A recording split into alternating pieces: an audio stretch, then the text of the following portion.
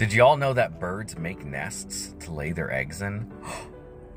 but on a serious note, the way birds make nests and some of the intricacies of them are absolutely incredible. Most of us think of a stereotypical nest like this robin, using a little bit of mud, some sticks, and make a circular thing and they sit on top of it.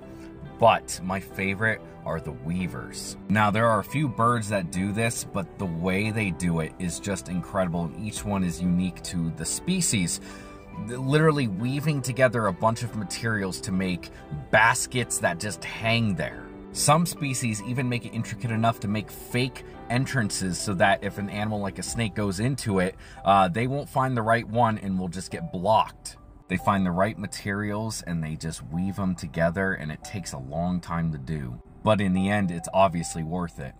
The distances that animals will go to survive is amazing.